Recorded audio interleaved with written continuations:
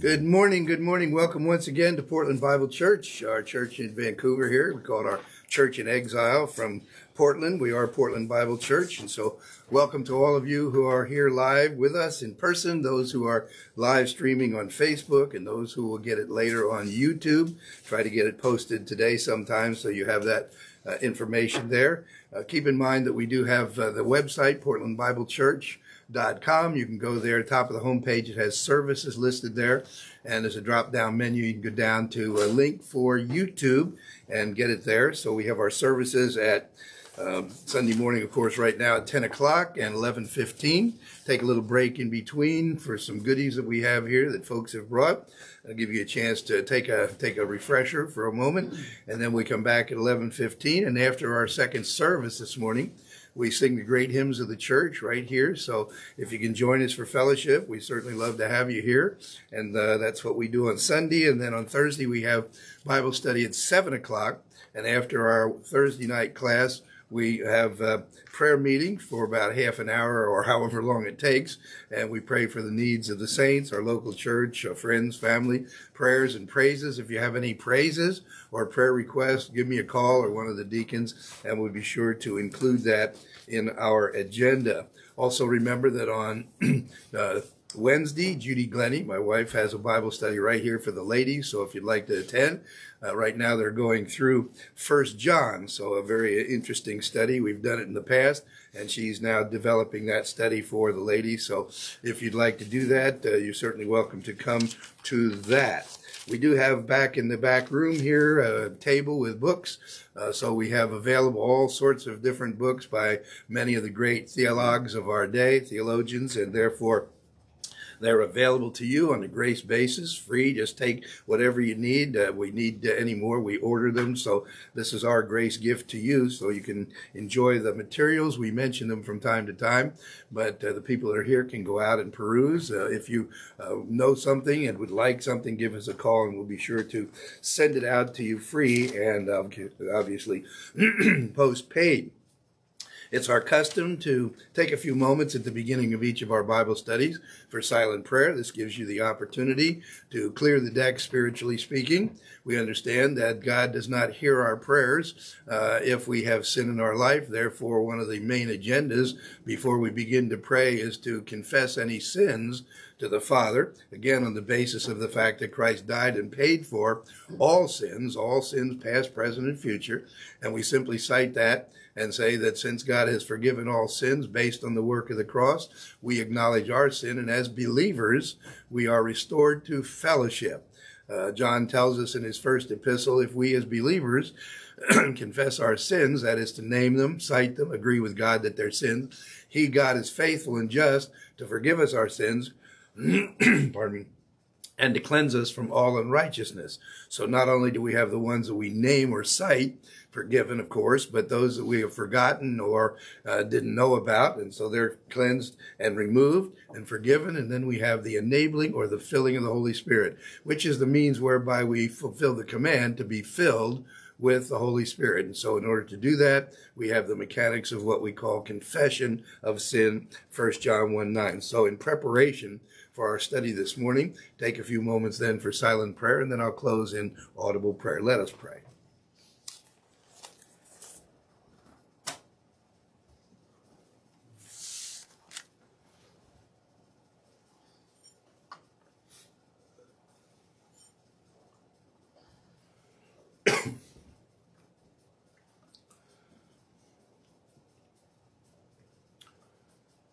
Heavenly Father, we thank you for your gracious provision for us as believers in your Son, Jesus Christ.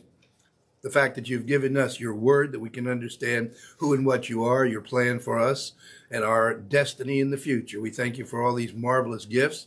We thank you for the salvation that your Son has provided on the cross. Our salvation, which includes forgiveness of sin and the promise uh, of everlasting life, which begins at the moment we believed in your Son, Jesus Christ. We thank you for these things. We pray as we study this morning that you'd edify our soul based on the passages that we have before us. We recognize that your word is alive and powerful and is energizing to our very soul. And therefore, we pray that that energy would be within us as we study and that it would uh, empower us to do those things that are pleasing in your sight. So that when we come into your presence, we can hear those words.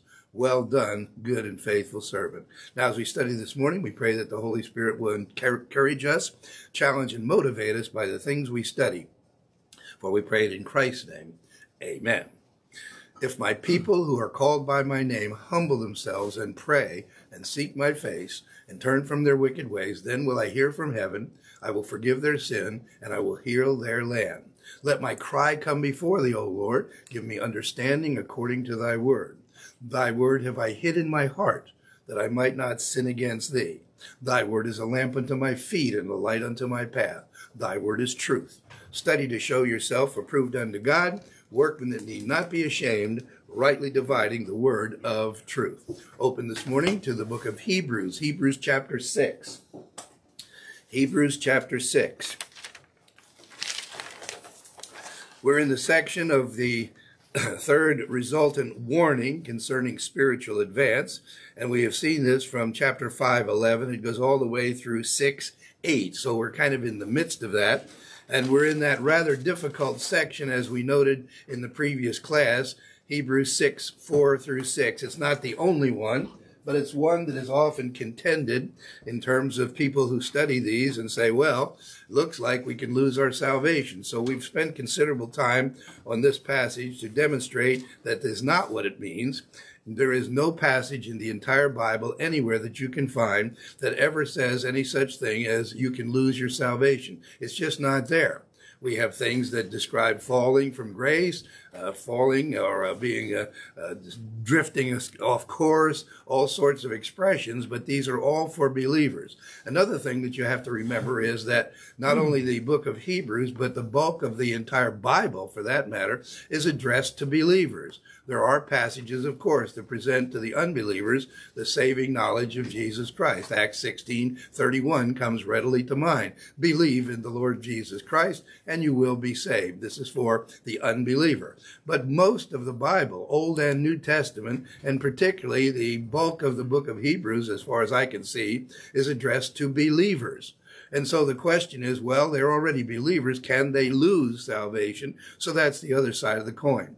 We have those, of course, in Christendom who take all different matters, uh, manner of positions on these. Uh, either they would suggest that if you do not demonstrate uh, excellent behavior as they would determine it, then you probably are unsaved. Or um, uh, perhaps uh, you've lost your salvation. So they look at it both ways. We understand that believers can do some of the nastiest things that are imaginable. We think of David, who raped uh, Uriah the Hittite's uh, wife and uh, set him up for murder. Uh, of course, he put him at the front of the line so that he would be, as one of his great generals, wasted in the initial assault and so uh, basically perpetrated the death of uh, her husband, Uriah the Hittite, a great man.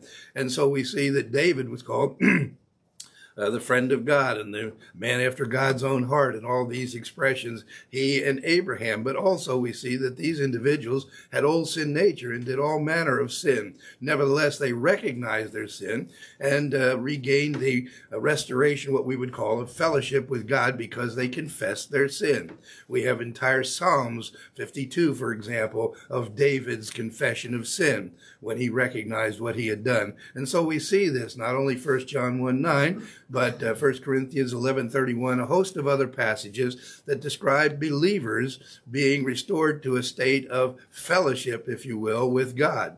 And so we see that believers still sin, and therefore the question is, do they lose salvation or do they lose blessing and reward? And we see all through the New Testament, we've noted a host of passages that describe the believer's rewards, that are to accrue for us in this dispensation at the rapture of the church, something called the Bema, the judgment seat of Christ, not to gain salvation, but as a reward for meritorious services above and beyond simply believing in Jesus Christ, demonstrating the salvation that we have.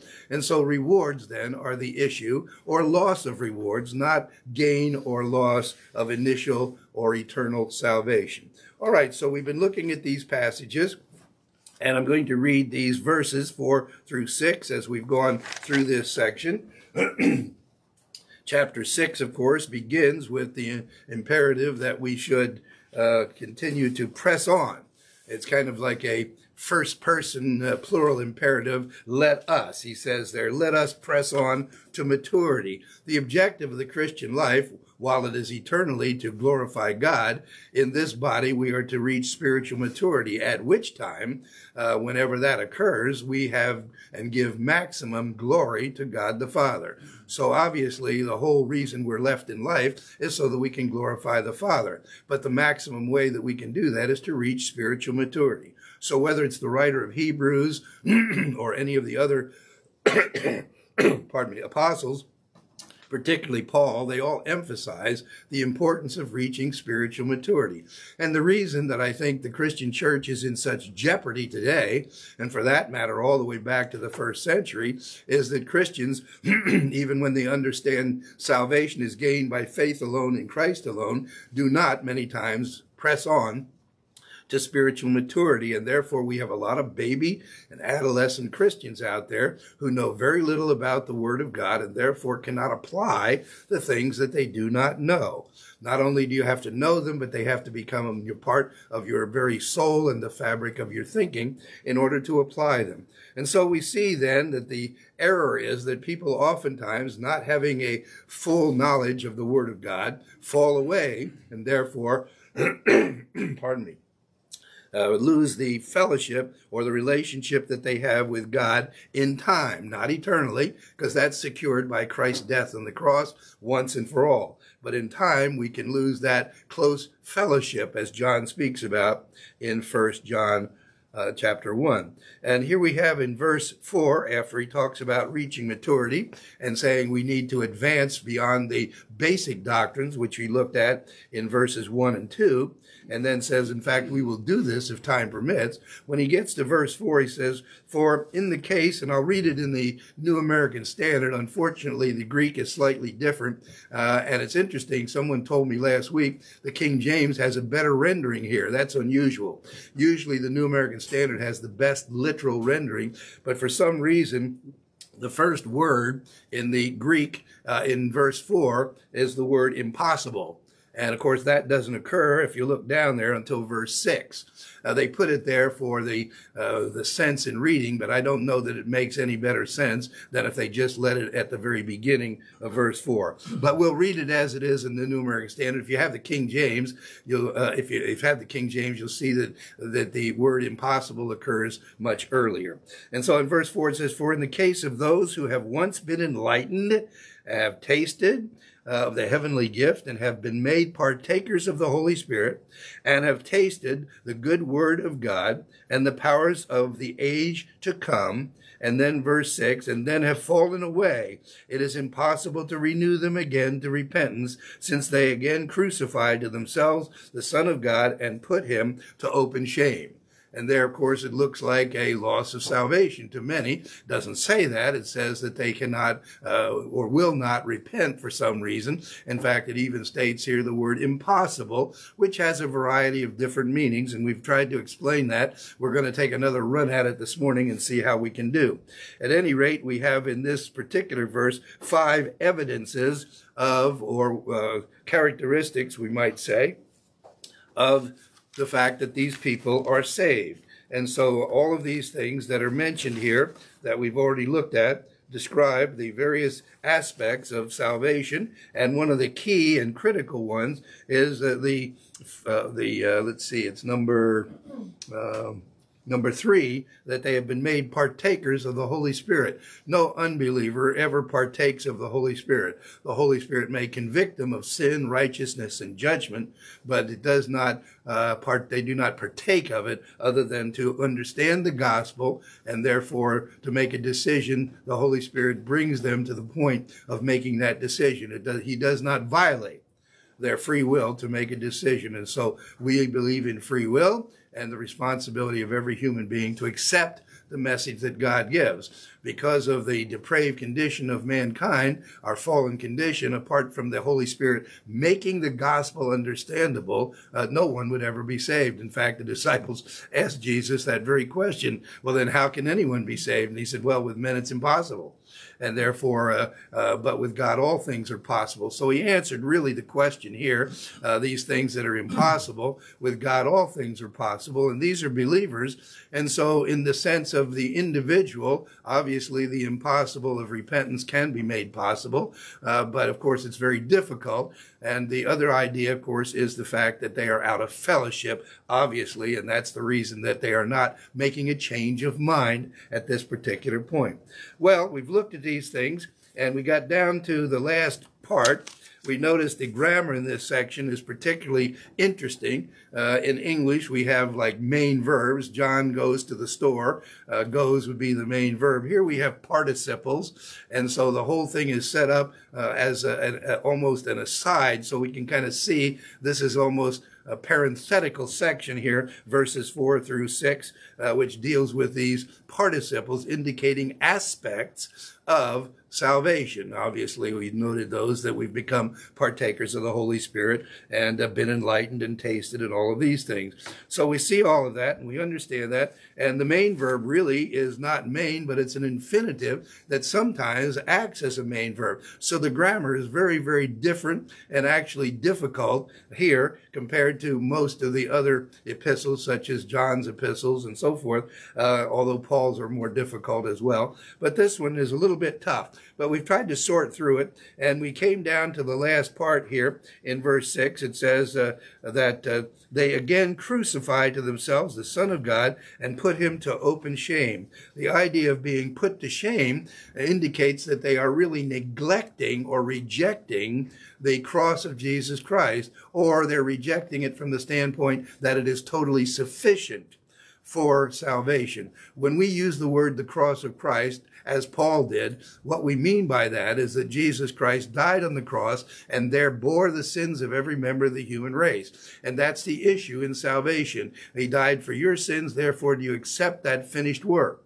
Tandem with that, of course, is the fact that Jesus Christ was deity, undiminished deity, and also true humanity. So he has a uh, trifold person. He is the God man, but then his work was salvation or salvific. And so he was the savior as well. And so the point of the cross is the whole issue. Now, when we celebrate Resurrection Sunday, that simply indicates that the Father was satisfied with the work of the Son. And so the plan continues and the verification that that death on the cross was not just the normal death of any person, but was specific in paying for the sins of the world. And the Father was satisfied with that work demonstrated by the resurrection. And we've noted that uh, in the previous holiday. So the idea of putting Christ to shame or the work of the cross to shame is basically to reject it. We have an interesting word here in the Greek paradigmatizo, paradigmatizo, uh, and this long Greek word, let's see, 1, 2, 3, 4, 5, 6, 7, 8, 9, 10, 11, 12, 14 letters. So a lot of times in the Greek, uh, when they have a prefixed preposition like para alongside of, and digmatizo, uh, which means, of course, to expose. And to expose alongside of is the idea, and it comes to mean to put to shame. So you're taking the cross and setting it aside, as it were, of everything else, rather than being the main focus. And of course, Paul says, uh, that uh, to, for him, obviously, the most important thing is the cross of Christ. And he says uh, that uh, uh, he preaches Christ and him crucified, and that's all he wanted to preach Christ and him crucified. Well, crucified, obviously, is the cross. And so Christ and Him crucified is the issue that Paul presented. So as far as salvation, we need to recognize that Jesus Christ died on the cross. Uh, there are some today in Christendom who are uh, minimizing the work of the cross. I know that sounds impossible. They almost never mention it in their church services uh, without going into detail about who these uh, various uh, churches or even denominations are, but the focus of the cross of Jesus Christ is anathema, sadly, to many churches and pastors today. And of course, this negates the entire uh, reason that we're uh, in, in this life. We are here because we are to be redeemed by God, and that work through the Holy Spirit. So this particular word uh, in this form only occurs twice. Just to show you the other place that it occurs, uh, look over at Matthew 1. Matthew 1, 19. This will give you some idea here. You probably remember this from our Christmas time. So in Matthew 1:19 it says this, Joseph her husband you remember this. This is what happened when Mary, uh, of course, told her husband uh, to be Joseph. She they weren't married yet. She was betrothed, and she was already pregnant. And uh, obviously, Joseph and Mary uh, had not come together at all physically. And it says in 19, her husband, being a righteous man and not wanting to disgrace her, uh, desired to put her away secretly. Now that disgrace is this word daigmatizo, and that is the uh, actually uh, some say, well, this is a variant reading, but even if it's daigmatizo, whether it's para or daigmatizo without the para in front of it, it's the same thing to expose to disgrace to mock, to expose in some way to the public, to bring her before the public. And if he had, an adulteress in the Old Testament time was stoned to death for adultery. So the fate of uh, Mary would have been stoning. And so he didn't want to bring disgrace upon her to the point of public execution. Obviously, uh, that's the uh, idea here. So when we come to Christ, they're making the fact that he died on the cross of no effect. They're ignoring it or mocking the cross as those who looked at Christ on the cross were mocking him as the soldiers mocked him. Uh, they they blindfolded him and then punched him and said, uh, "Prophesy, who who slugged you? Who punched you?" And then they would laugh. And then they put a robe uh, on him. Uh, uh, you say you're a king. Well, here's your royal robe and the crown of thorns. He needed a crown, and so there was mocking from the time that he was arrested up until the time that he actually dismissed his spirit to go to be with the Father. So this word used basically these two times, if you please, once here and then uh, once in Matthew 1.19. the other possible time is in Colossians, where we don't have para, we just have daigmatizo, and that is again to make public display and exposed to mockery. And you can look at that one. That's over in Colossians 2. Colossians 2.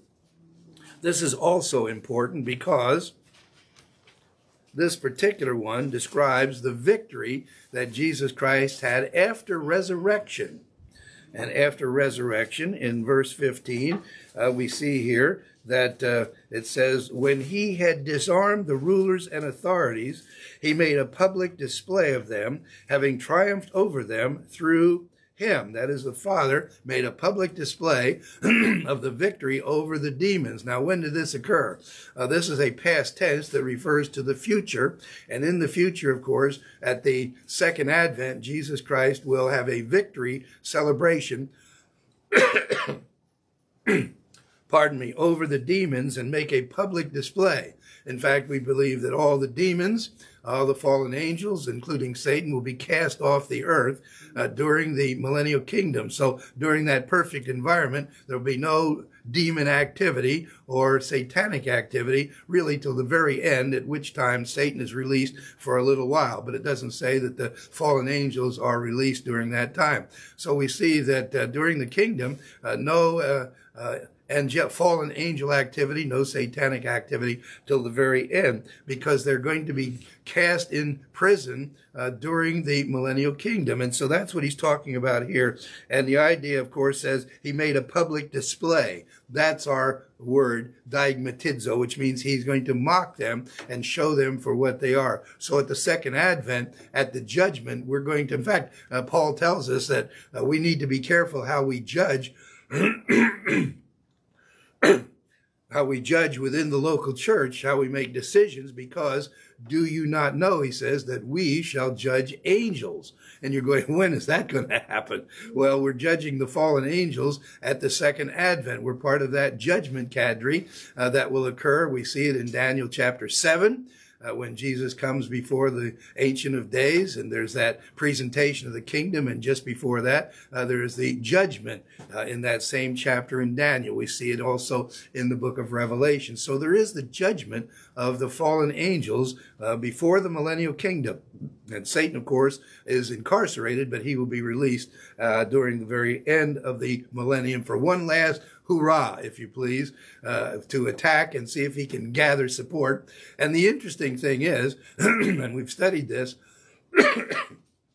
at the end of the kingdom, the millennial kingdom, we see that Satan gets a multitude of people who are unhappy with perfect environment. I just, I can't wrap my head around that because everywhere you talk, go today, people talk, if we just could get perfect environment, if we could just make the air better, if we could just, you know, uh, uh, get better cars and better toilets and better light bulbs and that we could clean up the environment. And in the millennial kingdom, it's going to be perfect environment and people won't like it because Jesus Jesus Christ will be reigning as King of Kings and Lord of Lords. Well, uh, that's a subject we've covered before, but uh, it is interesting. And so the demons uh, and Satan will be eliminated during the millennial kingdom. Uh, they will not be available because they will be mocked and sentenced to prison uh, for the duration until the judgment at the end of human history, at which time they and Satan will be thrown into the lake of fire that will already be inhabited by the beast, the Antichrist, and the false prophet during the tribulation time. They go there at the second advent. And so some get incarcerated uh, uh, till the end. Satan himself gets released at the very, very end of the millennial kingdom. Well, the point is that the same word of mocking, this is what these believers do. They mock the cross of Christ. This is what we must never do. Uh, and so we see a number of passages that indicate that this is what's going on. Uh, we can look at a couple of them. The idea of the stumbling stone. We see that, for example, in Romans. Romans chapter 9. It's repeated again in 1 Peter 2 8. But in Romans 9, we see in 933, we see the quotation there from the Old Testament. Romans 9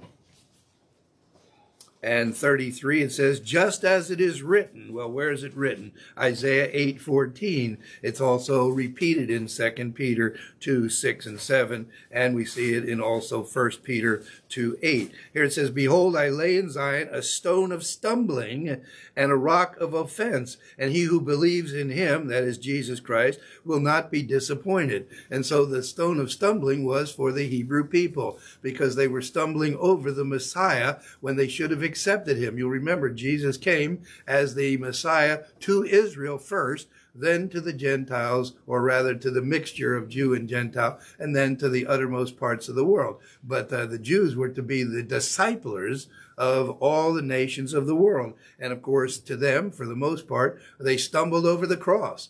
And even to this day, sadly, Christians stumble over the cross. They want a philosophy, a Christian philosophy, a Christian psychology, rather than the gospel of salvation by the death of Christ on the cross and our belief in it. So we see it there. We also see the same thing in Galatians, another place where Paul is talking to the people of the Hebrew faith, particularly, and how they were basically rejecting the cross by saying that they needed to go back to the Mosaic law. They needed to do the Mosaic uh, rituals in order to add to the work of the cross. And by so doing, they were negating the cross. Galatians chapter 5, verse 11. Galatians 5:11. We studied this, and so here it says, uh, "But brethren, I, brethren, he's writing to other Jewish people. So we're noting that this was written to uh, the Hebrew believers in the area of Galatia. Obviously, there were Gentile believers as well. But we noted that in that first area, first century, many of the churches were made up primarily of Jewish believers in the Messiah the Gentiles came in at the house of Cornelius. And today we think of the Gentiles as basically all the Christians and the Jews as not being Christians. But in the first century, many of the Hebrew people had become believers in Messiah. And that's who Paul is writing to primarily in the book of Galatians. In verse 11, I, brethren, if I still preach circumcision. In other words, circumcision became uh, the watchword of all of the ritual, even though it was only one of 613 laws in the Mosaic covenant and goes all the way back to Abraham. Nevertheless, that became symbolic of all the rituals. And he said, therefore, if I still preach circumcision, why am I still persecuted? You know, if I say, well, it's okay to be circumcised, then why would you persecute me? It's because all of the other things as well. He says, then the stumbling block of the cross has been abolished. And so the point is that uh, if you go back and get circumcised, let's say, and the Jews, of course, had been, or as a Gentile to go back and try to be a Jew in that sense, or to fulfill any of the Levitical uh, system offerings, then obviously you were you, you've had a stumbling block, and the stumbling block was the cross, and it had been abolished you set it aside. It's not important. Or if it's important, it's a side issue and not the main issue. Then we go over to 1 Corinthians where Paul really addresses this in detail. So in 1 Corinthians chapter 1, 17 and 18. In 117, he says, For Christ did not send me to baptize, but to preach the gospel, not in cleverness of speech why? So that the cross of Christ should not be made null and void. In other words, he preached the gospel, and the gospel is the cross of Christ. When we use the word the cross of Christ, it's symbolic for the entirety of the person and work of Jesus Christ and bearing the sins of all members of the human race. And so Paul says it there. And he says, uh, for the word of the cross is to those who are perishing foolishness the unbeliever thinks you're just crazy. You talk about the cross, the cross, the cross, you know. Well, gee, this guy died. So what? Big deal. Well, he rose from the dead. Well, I don't know if I believe that. Well, uh, if he did, and history bears out that he did, the empty tomb, uh, all of the thousands of witnesses, and therefore you need to deal with that. If a man rose from the dead, might be worth listening to what he had to say. And so he says uh, the Gentiles basically are perishing. It's foolishness. But to us who are being saved, it is the power of God. Salvation and the power of salvation is the work of the cross, 17 and 18. And then in chapter 2, verse 2 and 3, Paul says, I've determined to do nothing among you except Jesus Christ, and here it is, and him crucified. The idea is that you need to know who he is. Yes, he's the God man, but the fact that he's the savior because he died on the cross and bore the sins of the human race, and the Father said, I accept that finished work. That's the reason that we're saved, and it's Christ and him crucified. So we have these various uh, places where Paul also, uh, Romans, First Peter, Second Peter, Galatians, First Corinthians, goes through the fact that those who put ritual in place of or alongside of as necessary in addition to or in the absence of the cross, they of course fall into this same category. And so basically this whole section then uh, deals with the fact that we have here uh, sin. And the question is, okay, what's their sin? The sin is a national sin. So there's two categories of sin going on. There's the sin of the nation of Israel as a whole, and there's the sin of individual uh, Jewish believers or Hebrew believers. So we have two categories, the national sin and the individual sin. Now, the national sin, of course, was to reject Messiah. And that, if you want to use this word here that we have in our text, the impossibility, is the fact that Jesus is going to judge the nation of Israel, and it's impossible for that to be turned back. Uh, not many years hence, in fact, uh, uh, from the um, uh, from the uh, uh, ascension, we have 40 years from the crucifixion, basically, and 40 years we see, which we take from 30 AD, basically. We believe Christ was uh, crucified and uh, resurrected in 30 AD. Some say 33, but basically 70 AD. And so 30 AD is my contention for his death, burial, resurrection, and ascension within that time frame. And then we have 40 years. 40 years is the last probation for Israel. At the end of that 40 years, God put his wrath upon Israel and Jerusalem, and the temple was destroyed. And so at that time we have the wrath of God. This is what could not be changed. Therefore they could not repent as a nation. The whole nation, of course, was under the judgment of 70 AD, and it would be impossible for that nation uh, to turn around that judgment. Now, individual Jewish believers, uh, obviously, or individual unbelieving Jews who believed, they could turn it around. They could repent. They could say, yes, I, I believe in this Messiah, and probably did. Many were delivered, but many were also lost and unsaved at 70 AD during the judgment. So we have two concepts. The first one is, as we see here, the impossibility of God turning it around. In other words, uh, as a nation, the nation could no longer repent. They had their opportunity. You'll remember Jesus said, uh, uh, for them it's going to be in, in, parables, but for you it's to understand. And so they asked him, why are you teaching in parables? Because he gave them the statement of who and what he was and the kingdom, and they refused him. So as a whole, the nation rejected and therefore was under, as uh, Dr. Fruchtenbaum, Dr. Stephen Gare, Hebrew Christian state, this is the sin unto death, or in their case, uh, it was the unpardonable sin. And so the nation is the issue here, not the individual believer or unbeliever. The national sin could not be repented. And you might say, well, how does a nation repent? Well, they couldn't. That was the point. It was impossible for the nation to repent because the judgment was coming in 70 AD. There was nothing the nation as a whole could do. Jerusalem was doomed. Uh, the temple was going to be destroyed. However, within that, there are individual unbelieving Jews who would say, I believe in the Messiah. And therefore, for them, it would be difficult, but obviously, because what's impossible for men is possible for God. So they could repent. They could change their mind and believe. So individual unbelievers could come to faith and believe and therefore repent, even though with great difficulty. If they were, as the Hebrew believers here, simply reverting back, they're already saved, they, of course, could repent and they would not be uh, destroyed in 70 AD. And there were many who were delivered.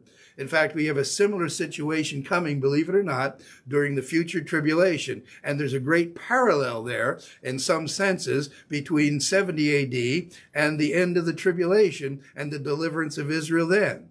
And so uh, uh, it's kind of interesting. I'll see if I can make a, a, presentation of this and make it clear for you. At any rate, uh, we have, for the most part, the nation of Israel rejected Jesus Christ as Messiah. And as a nation, they could not repent as a nation, and they were doomed to judgment in 70 AD. But individual unbelievers or believers could, of course, turn it around uh, the writer of Hebrews addresses the fact that they could individually change their mind. And the reason that they were not doing it now is because it was uh, they were powerless, not having the filling of the Holy Spirit. But uh, the Holy Spirit, of course, can make the impossible possible or the difficult and empower them uh, as they could confess their sins and come back into fellowship. And so when they did that, of course, they could be delivered uh, in 70 AD, obviously. And so uh, this is what we see going on here for these people that they would be delivered uh, individually, even though the nation would not be delivered and the city of Jerusalem and the temple would not. Now, the interesting thing is when we think about that, uh, and uh, we have for the most part, the Hebrew people would die. There would be a remnant who would be saved because they believed in the Messiah. Hopefully, they're the uh, addressees of the book of Hebrews and others. So they believed what the writer of Hebrews was saying, and they would not die uh, the sin unto death or be part of this unpardonable sin because they would repent. And uh, with great difficulty, nevertheless, they could. So there'd be some. Now, when we get to the future tribulation, we have exactly the reverse all Paul Paul tells us in Romans, all will be saved. Here in the uh, 70 AD, none will be saved. Basically, none. It's impossible to have them repent, and yet some did repent. So obviously, some repented, even though it's impossible for the nation to repent. Individuals could repent. During the future tribulation, all will be saved. Well, we know that not everybody during the tribulation who is a Hebrew person gets saved it certainly indicates that many of them are going to die uh, during the tribulation under the attacks of Antichrist. Now, the question is, well, were they saved or were they unsaved Jews? Had they accepted Messiah? Most of them had not until the 144,000 began to minister. And many of them didn't accept Christ until towards the end of the tribulation. And whatever ones were not killed as martyrs uh, or died to sin unto death in that time, uh, those would be alive, and as believers, they would go into the kingdom. And all Israel that believed would be physically delivered and go into the kingdom. And uh, they would be in human bodies and repopulate uh, the uh, uh, Hebrew population during the kingdom. So they would be physically saved, but in order to be physically delivered, they had to be born again, spiritually saved. So when Paul says all will be saved, it's all who believed, obviously, because we know that many Jews would die. And so it's the exact opposite here. No one's going to be repent. Well, the nation as a whole isn't going to repent, but individuals could repent. It's always the case.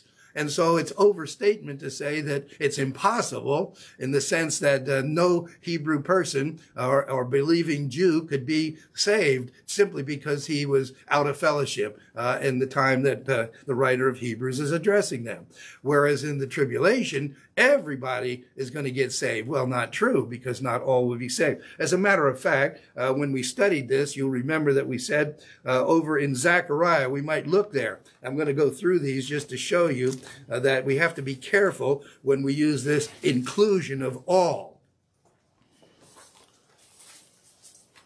All right, Zechariah 13. Zechariah chapter 13, verses 8 and 9.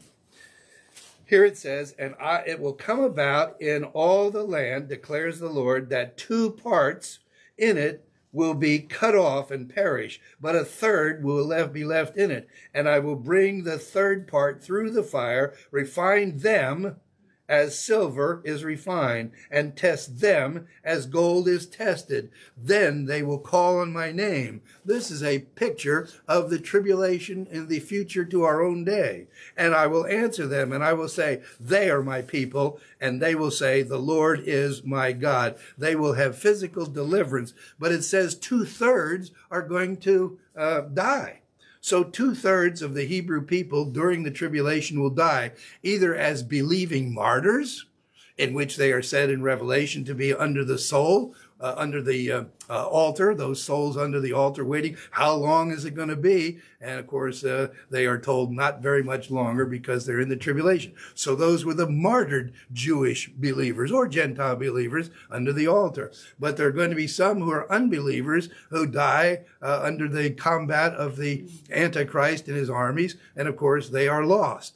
And so the problem is that we see that uh, a third gets delivered. And that third is the third that Paul is talking about. And so we see it there. And we also uh, go over now to Zechariah chapter 9, 16. Zechariah 9, 16. And here in verse 16 it says, And the Lord their God will save them in that day as the flock of his people. And for they are as the stones of a crown sparkling in his hand. Um, and so forth. And so he says here that they will be saved. He said, I'll save them.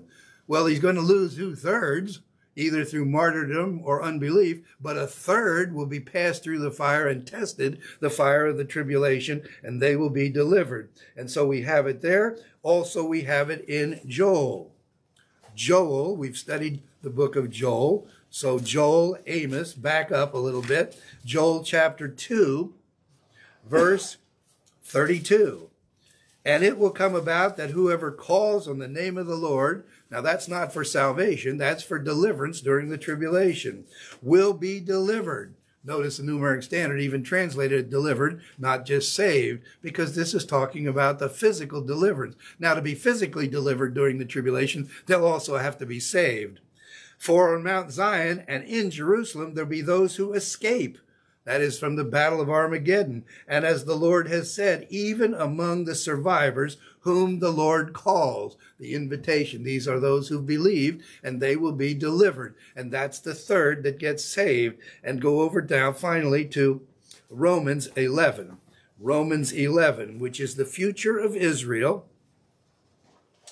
where Paul says all will be saved. But we've just seen that he's talking about the third that will be saved. And in Romans chapter 11, verse 26, start back in 25. For I do not want you, brethren, that is the Gentile believers, to be uninformed of this mystery church age doctrine, lest you be wise, arrogant in your own estimation, that a partial hardening has happened to Israel until the fullness of the Gentiles has come in. And thus all Israel will be saved. This, of course, is a statement that refers back to Isaiah 59, uh, 20 and 22. All Israel be saved, just as is written. The deliverer will come from Zion, and he will remove ungodliness from Jacob. And this is the covenant with them when I take away their sins. And so these are the believing Jews, one third of the Jewish population that will remain and be delivered because they're saved, born again, and delivered physically into the millennium. Two thirds are going to die. So we noted that when he says all, it's all that's are left. And how do we know the all doesn't mean the totality of every Hebrew person in the tribulation? Because the context tells us that. These are the ones who believe in Christ. And we can go back and pick up the other passages. So you have Zechariah 13, 8 and 9. You have uh, Zechariah 9, 16, and then Joel 2, 32, and finally Romans 11, 26. All of that to show us that we have a national sin of the nation of Israel and we have a personal sin of the individual Jews, either unbelieving or believing Jews. Paul here is writing to believing Jews and the fact that uh, the nation is going to be destroyed and therefore there's nothing they can do about it. It's impossible. However, the individual Jew who is a believer can repent, although it's very difficult because he's out of fellowship, but the Holy Spirit can bring to his remembrance his sins and he can confess them. And so this is then a passage that once again reveals the concept of rewards, and we'll see how that fits as we get into other chapters, for example, uh, in the latter part of Hebrews. So the note I have here is Israel's national sin of unbelief cannot be undone. Israel's national sin of unbelief cannot be undone. This is the unpardonable sin. It cannot be undone. God's judgment of first century Israel is irrevocable, and it would come in 70 AD, guaranteed. All right, I think we've gotten through the verse. I don't know if we'll get through the summary. Uh, we've got just a minute or two, but we might start off. So this is a summary. I have here uh, six points of summary that uh, we want to look at in this connection. So Hebrews chapter 6, 4 through 6, summary, verse uh, 4 through 6, number 1 this passage, 4 through 6, has four interpretations by many scholars. I'll just give you these. We've talked about them, kind of run through them. First, first uh, possible interpretation, A, Christians can lose their salvation. Secondly, some Christians merely have a profession of faith uh, short of salvation. So they really, they just really professed it, but they didn't believe. The third one is some Christians uh, lose their salvation and there can be no provision for repentance. They lose it and they can't get back. That is, they lose their salvation and uh, there's no chance for regaining it. Obviously, that's not what's intended in this passage. And fourth, or it's a warning to Christians here, mostly Christian Jews, who move from a position of true faith and abundant life to a position of extreme carnality and apostasy.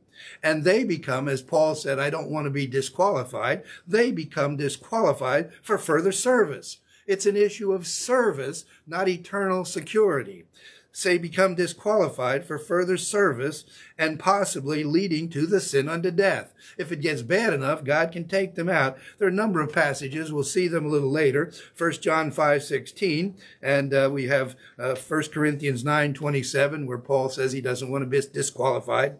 And 1 Corinthians 5, 5, where it speaks about the incestuous believer. And Paul says, I've turned him over to the destruction of the flesh so that his spirit may live. That is his eternal soul. So point one then are these four interpretations. Four would be the correct one. A warning to believing Jews or Christians who move from a position of true faith and abundant life to a position of extreme carnality and apostasy. They become disqualified for further service and possibly leading to the sin unto death. And this is what we will study in chapter 11 or chapter 12 under Christian discipline, chapter, chapter 12, 4 through 11. All right, that's our first point, and uh, we're coming down the home stretch. I'll get the second point, then we'll have to come back and pick them up in the second service. The writer of Hebrews knows that any believer can fall from his or her own steadfastness and confidence into apostasy. It can happen to all of us. Paul said, I don't want to do it. I hope it doesn't happen to me. So that uh, withdrawal from their Christian profession. And that's the idea here. We saw it in chapter 3, 6.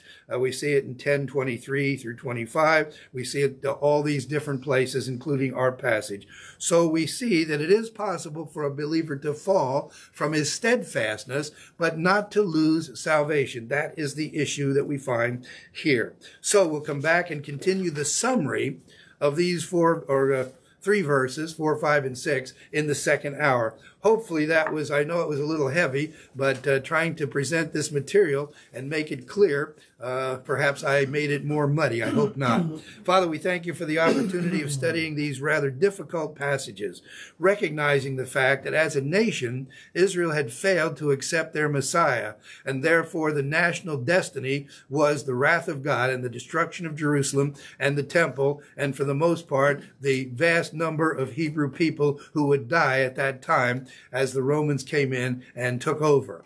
Nevertheless, there was a remnant, and that remnant uh, is the are the people that the writer of Hebrews is addressing so that they might repent, recognizing that repentance is difficult because they're out of fellowship and they've bought into the lie of legalism uh, being set alongside the cross or even negating the cross that they had accepted for salvation. Nevertheless, uh, the Holy Spirit has made the important uh, concept available to them that if they change their mind, that it is possible, and he calls them to repentance as he does the unbeliever, and certainly some of them can and will repent. And that's the hope of the writer of Hebrews. Father, we thank you for the opportunity of studying this rather difficult section. Pray that the Holy Spirit will make it clear, even if I have not uh, so that our souls may understand that we always have the opportunity for believing in Jesus Christ. And for that person who is here today without Christ, without hope, and without eternal life, we want you to know that eternal life is available to you free of charge on the basis of the work that Christ performed on the cross. He died for the sins of every member of the human race, past, present, and future. Yours, mine, everyone's. He did it once and for all. And all you need to do is believe in the finished work of Christ on the cross for eternal salvation, for forgiveness of sin, and therefore a marvelous, abundant life. Won't you do it before you leave this morning? Believe in the Lord Jesus Christ and you will be saved. Father, thank you again for the opportunity of studying these rather difficult passages. Pray that your Holy Spirit will help us to understand the uh, full meaning of these passages and how they pertain to our rewards in the future when we come before you at the judgment seat. We thank you for these things and pray all of this in Christ's matchless name. Amen.